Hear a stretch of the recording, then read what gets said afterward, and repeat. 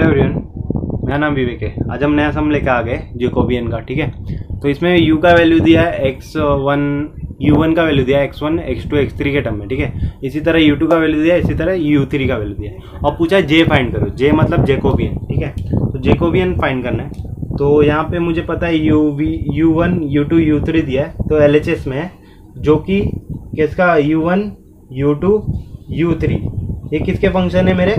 X one x two और x three के term में है, ठीक है फ़ंक्शन है। तो इसका जेकोबियन फाइंड करना तो इसका फॉर्मूला क्या बनेगा जेकोबियन का? जो लेफ़्ट लेफ़्ट साइड में रहता है ऊपर लिख देंगे हम। दो U one comma U two comma U three ठीक है? डिवाइड बाय दो X one X two X three ठीक है?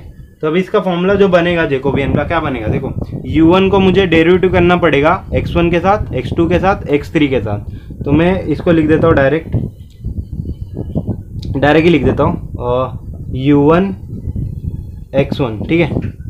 ऐसा भी लिख सकता हो, या तो अच्छे से लिख देते, काम करते, ठीक है? दो बाय, दो यू वन बाय, दो एक्स वन ठीक है? फिर दो यू वन बाय, दो एक्स टू दो यू वन बाय, दो एक्स थ्री ठीक है? अब नीचे यू टू से डेरिवेटिव करना है। टू को डेरिवेटिव करना है किससे? एक्स वन के साथ, फिर यू टू को डेरिवेटिव करना है एक्स टू के साथ फिर यू टू को डेरिवेटिव करना है एक्स थ्री के साथ। एक्स थ्री के साथ। फिर यू थ्री को डेरिवेटिव करना है एक्स वन के साथ, और यू थ्री को डेरिवेटिव करना है एक्स टू के साथ। फिर यू थ्री को डेरिवेटिव करना है एक्स थ्री के साथ, ठीक है? तो ये जेकोबिन का मेरा फॉर्मूला होगा। बस सिंपली इसमें पुट करना है और सॉल्व करना है हमें, ठीक है? तो सॉल्व कैसे होगा? तो सॉल्व कैसे होगा? इसको सॉल्व करते देखो, अभी यहाँ पे डायरेक्ट मैं यहाँ पे लिखता हूँ डायरेक्ट सॉल्व करता है इसको। U1 है u1 क्या हमारा ये, ठीक है? अब इसको x1 के साथ डेरिवेटिव करना है। ध्यान से देखो x1 से साथ डेरिवेटिव करना है, ठीक है? तो x1 से डेरिवेटिव करना है तो क्या आएगा इसका? X2 और x3 कांस्टेंट है, ऐसे ही जाएँगे। मतलब कांस्टेंट हमको ऐसे लिखना पड़ता है, ठीक है? और x1 है नीचे अपॉन में वन अपॉन एक्स है। तो वन अपॉन एक्स का डेरिवेटिव क्या होगा? कांस्टेंट तो ऐसे ही लिखा इसको, और वन अपॉन एक्स का डेरिवेटिव आपको पता है वन अपॉन एक्स का derivative is minus one by X square ठीक है? तो वन अपॉन एक्स वन है तो वन अपॉन एक्स वन का डेरिवेटिव क्या हो जाएगा? X square minus one by X square, ठीक है? X square X one. तो ये ऐसे मैंने लिख दिया डायरेक्ट, ठीक है? अभी यू वन को एक्स टू के साथ करना है। यू वन को एक्स टू के साथ करना है, ठीक है? तो एक्स टू के साथ डेरिवेटिव करूँगा तो एक्स थ्री और एक्स वन। कॉन्स्टेंट है X three, X one, X two के लिए। तो इसको ऐसे लिख दिया और एक्स टू का डेरिवेटिव इज़ वन तो लिखने का ज़रूरत नहीं है, ठीक है? अब u1 को मैं x3 के साथ करूँगा। x3 के साथ करूँगा तो x2 और x1 कांस्टेंट है, ऐसे रहेंगे। और x3 का डेरिवेटिव इज़ वन तो उसको लिखने की ज़रूरत नहीं है, ठीक है? अब u2 की बारी है। अब u2 को मैं x1 से करूँगा। u2 ये है मेरा। इसको x1 से डेरिवेटिव करना है तो x3 और x2 इसके लिए कांस्टेंट हो जाएँगे। तो इसको ऐसे लिख दिया और x1 का डेरिवेटिव इज़ वन ठीक है? तो उसको लिखने की ज़रूरत नहीं है। अब u2 को x2 के साथ करना है। X2 के साथ डेरिवेटिव करना है तो x3 और x1 कांस्टेंट हो गए। X3 और x1 कांस्टेंट हो गए। और वन अपॉन एक्स टू है तो इसका डेरिवेटिव का देगा minus one upon X two का स्क्वायर ठीक है? अभी मैं u2 को x3 के साथ करूँगा। X3 के साथ करूँगा तो x1 और x2 कांस्टेंट है, इसको ऐसे लिख दिया। और x3 का डेरिवेटिव इस वन तो ये हो गया मेरा। अब u3 को x1 के साथ करना है। U3 को x1 के साथ डेरिवेटिव करूँगा तो उसके लिए x2 और x3 कांस्टेंट हो जाएँगे। X2 और x3 कांस्टेंट हो गए, ऐसे ही लिख दिया, और x1 का डेरिवेटिव इज़ वन अब इसको x2 के साथ डेरिवेटिव करना है u3 को। तो x2 के साथ करूँगा तो x1 और x3 कांस्टेंट हो जाएँगे। X1 और x3 कांस्टेंट हो गए, ऐसे ही लिख दिया। और एक्स एक्स टू का डेरिवेटिव इस वन हो जाएगा। उसको लिखने की ज़रूरत नहीं है।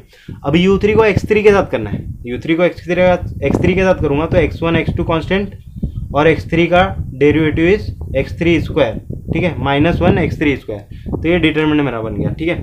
अब इसको सॉल्व करना है। इसको सॉल्व करने से पहले डिटर्मिनेंट को हम थोड़ा सा इसमें प्रॉपर्टी अप्लाई कर सकते हैं। ठीक है? डिटर्मिनेंट का प्रॉपर्टी तो डिटर्मिनेंट का प्रॉपर्टी क्या होता है? कि कोई भी रो से हम कोई भी चीज़ कॉमन है, उसको बाहर निकाल सकते हैं। ठीक है?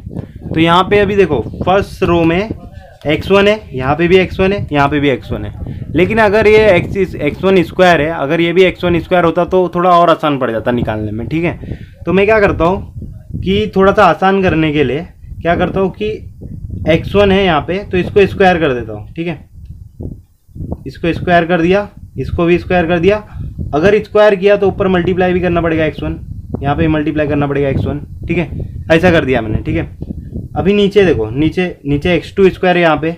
तो इसको भी एक्स टू का स्क्वायर कर देता हूँ मैं, और ऊपर एक्स टू मल्टीप्लाई कर देता हूँ। यहाँ पे भी एक्स टू का स्क्वायर कर देता हूँ, और यहाँ पे एक्स टू मल्टीप्लाई कर देता हूँ, ठीक है? यहाँ पे अभी एक्स थ्री स्क्वायर है तो इसको स्क्वायर कर दिया, इसको भी स्क्वायर कर दिया। लेकिन मल्टीप्लाई ऊपर करना पड़ेगा एक्स थ्री और इसके साथ भी एक्स थ्री ठीक है?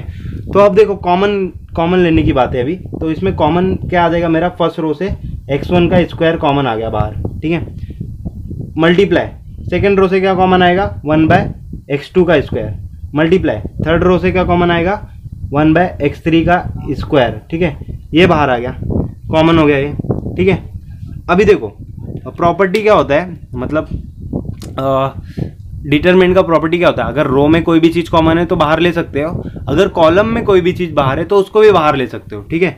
तो अब देखो यहाँ पे कॉमन कॉलम में क्या कॉमन लग रहा है? कॉलम में देखो X two X three X two X three X two X three ये भी कॉमन है, ठीक है? तो इसको कॉल कॉलम से भी मैं बाहर ले सकता हूँ, ठीक है?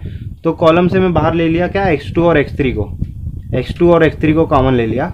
अब सेकेंड रो में क्या? X one X three X one X three X one X three तो इसको ये मैं बाहर ले लेता हूँ। एक्स वन एक्स थ्री को बाहर ले लिया मैंने मल्टीप्लाई अब थर्ड थर्ड कॉलम में X one X two X one X two X one X two है, इसको भी कॉमन ले लेता हूँ। एक्स वन एक्स टू को कॉमन ले लिया।